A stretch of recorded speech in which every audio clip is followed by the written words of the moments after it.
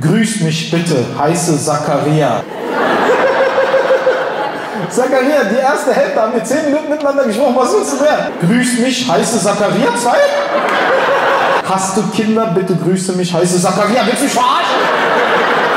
Bist du glücklich? Phasenweise ja, weil der Job beinhaltet viel Druck und der macht mich oft unglücklich, weil die Menschen messen dich immer nach deinen Erfolgen und das finde ich nicht cool. Das macht mich teilweise sehr unglücklich. Aber wenn ich zu Hause bin, bin ich glücklich. Ich habe einen Platz in meiner Couch. Der hat eine Kerbe drin, also der hat echt ein Loch drin. Und das ist Zentrum meines Universums. Auf der rechten Seite sitzt immer mein Sohn, auf meiner linken Seite sitzt meine Frau. Dann ist alles cool, weil die Leute erwarten viel von mir und das nervt mich manchmal. Kommt ein Deutscher in die Dönerbude, führe den Fitz fort. Ich. Kannst du uns grüßen, wäre lieb. Liebe Grüße, Reihe 16, Platz 168, 17, Müllwett und Lilian. Grüß mich bitte, heißt es Zakaria. Mann, wie süß bist du denn?